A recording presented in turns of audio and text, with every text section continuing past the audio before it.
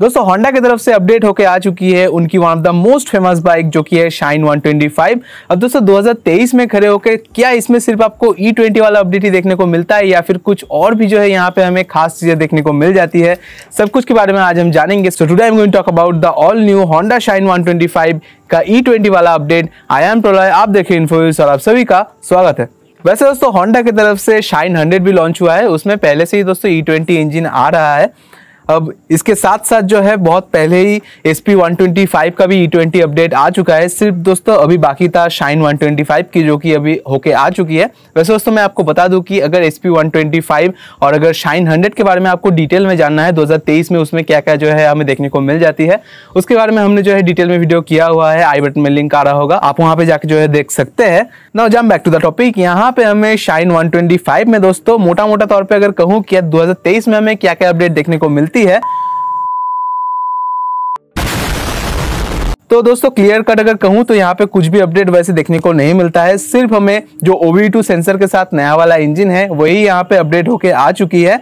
Engine की अगर दोस्तों प्रॉपरली बात करूँ तो यहाँ पे हमें 125 सीसी का एक single cylinder air cooled engine देखने को मिल जाता है, जो कि दोस्तों एक ई e इंजन है। ऑब्वियसली ये अपडेट होके आई है मतलब कि इसमें आपको OBD2 सेंसर देखने को मिल जाता है। बी का फेस टू वाला जो है, यहाँ पे इंजन आ जाता है, या फिर इसको आप बी भी कह सकते हैं। बाकी दोस्तों मैक्स पावर जो है आपको जनरेट करके देगी, वो है ten 1.6 brake horse power at 7500 RPM पे, जो कि ठीक ठाक है, एक 125 सीसी की बाइक के हिसाब से। और साथ ही दोस्तों 11 न्यूटन मीटर की जो है, यहाँ पे आपको पिक टॉर्क भी दे देगी एट 6000 आरपीएम और दोस्तों, यहाँ पे पहले से ही हमें फाइव स्पीड गियर बॉक्स देखने को मिलती है। यहाँ पे अभी भी जो है, यहाँ पे फाइव स्पीड गियर बॉक्स ही हमें देखने को मिल जाएगी। बाकी दोस्तों लुक वाइज भी बाइक जो है, हमें ऑलमोस्ट सेम ही देखने को मिल जाती है। सामने की तरफ़ हमें हेलोजिन हेडलैम्प देखने को मिलती थी। अभी भी हेलोजिन इसमें आती है। पीछे की तरफ़ दोस्तों, जो टेल लैम्प आता है, वहाँ पे भी हमें बल्ब देखने को मिल जाती है और चारों इंडिकेटर में भी हमें बल्ब भी देखने को मिलती है। वैसे दोस्तों, जो इंडिकेटर की ऊपर वाला पार्ट है, वहाँ पे हमें ट्रांसपेरेंट ग्लास देखने को मिल जाती है। वो वैसे ग्लास ग्लास नहीं है दोस्तों, वो फाइबर का एक जो है मटेरियल यहाँ पे दिया जाता है। मतलब कि पूरी तरीके से यहाँ पे बाइक में कोई कहीं पे भी जो है हमें एलईडी देखने को नहीं मिलता है। साथ ही इंस्ट्रूमेंट कंसोल जो है दोस्तों, वहाँ पे भी हमें फुल्ली एनालॉग इंस्ट्रूमेंट कंसोल देखने को मिलता है तो उसमें भी जो है कुछ खास देखने के लिए है नहीं। बाकी दोस्तों, यहाँ पे हमें फाइव कलर ऑप्शन देखने को मिल जाती है। पहले नंबर पे आता है ब्लैक दूसरे नंबर पे आता है दोस्तों डिसेंट ब्लू मेटेलिक तीसरे नंबर पे आ जाती है दोस्तों रेबल रेड मेटेलिक और चौथी नंबर पे आ जाती है मैट एक्सिस ग्रे और एकदम फिफ्थ नंबर पे आता है कुछ ग्ने ग्रे मेटेलिक कुछ भी है दोस्तों, छोड़िए उसको।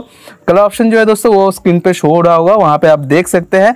और इसी के साथ और एक छोटा सा अपडेट है, इसकी दोस्तों जो एग्जॉस्ट पाइप है, इसके ऊपर एक छोटा सा क्रोम वाला पार्ट आया है, उसको जो है थोड़ी सी अलग डिज़ाइन दी गई है। बाकी इसमें कुछ खास अपडेट हमें देखने को नहीं मिलती है।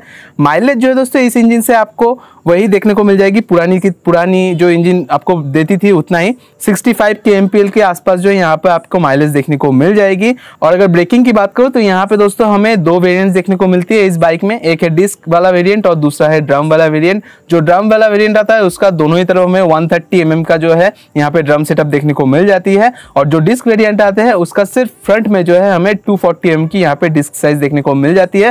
वैसे दोस्तों, दोनों ही जो वेरियंट है, इसमें हमें सीवीएस का यानी कि कॉम्बाइंड ब्रेकिंग सिस्टम का इस्तेमाल होते हुए दिख जाती है। मतलब कि सेफ्टी जो है, वो भी ठीक ठाक यहाँ पे देखने को मिल जाती है। साथ ही दोस्तों सेफ्टी की जब बात कर ही रहा हूँ तो यहाँ पे हमें side stand engine cut off sensor भी देखने को मिल जाता है, जो कि लगभग हमें होंडा की अभी की हर बाइक्स में देखने को मिलती है तो ये भी काफ़ी एक अच्छी बात हो जाती है। दोस्तों, अगर फाइनली प्राइसिंग की बात करूँ तो प्राइसिंग में ऑब्वियसली दोस्तों, यहाँ पे दोनों ही वेरियंट्स में हमें बढ़ोतरी देखने को मिल जाती है।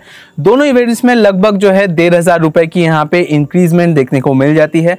ड्रम वेरियंट का भी प्राइस रखा गया है सेवेंटी ये एक शोरूम प्राइस है, और दोस्तों, जो डिस्क वेरिएंट आता है, उसका है eighty three thousand eight hundred rupees बाकी दोस्तों, आपको बता दूँ कि ये जो बाइक है ये हीरो की स्प्लेंडर, होंडा की खुद की S P one twenty five और बजाज की C T one twenty five को जो है टक्कर देने वाली है। और ये जो बाइक है, ये अपनी नजदीकी शोरूम में जब आ जाएगा दोस्तों तो मैं जो है इसके ऊपर एक फुल डिटेल वीडियो आपके लिए ला दूँगा। तो इसलिए जो है चैनल को सब्सक्राइब करना मैंडेटरी है। तो अगर चैनल पे नए हैं तो दोस्तों सब्सक्राइब ज़रूर से कर दीजिए। साथ ही अगर वीडियो अच्छा लगा तो दोस्तों लाइक कमेंट और शेयर भी कर दीजिए अपने दोस्तों के साथ। तो इसी नोट पे मैं वीडियो को करता हूँ एंड मैं मिलता हूँ आपको अगले वीडियो में। तब तक के लिए keep loving keep supporting Till then, signing off.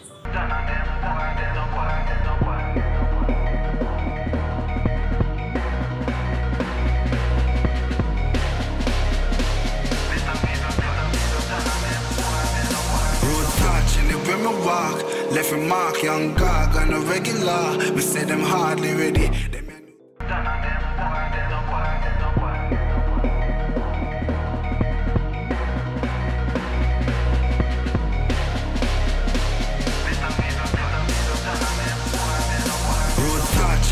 It walk. Left a mark, young gog on a regular. We say them hardly ready.